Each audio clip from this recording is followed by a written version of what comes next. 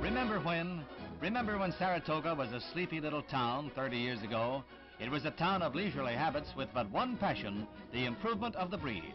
It was one of the most romantic towns of America through the years. But through those years, the pace accelerated.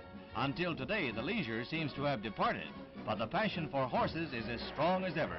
Comes the racing season at Saratoga, and the thoroughbred takes over.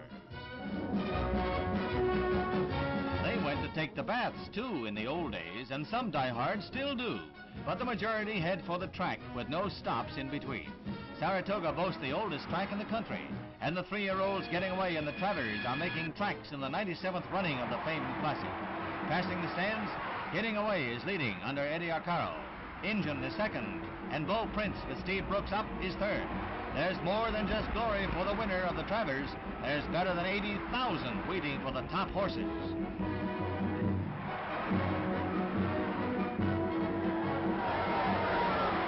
In the backstretch, Jockey Brooks has Beau Prince one out in front.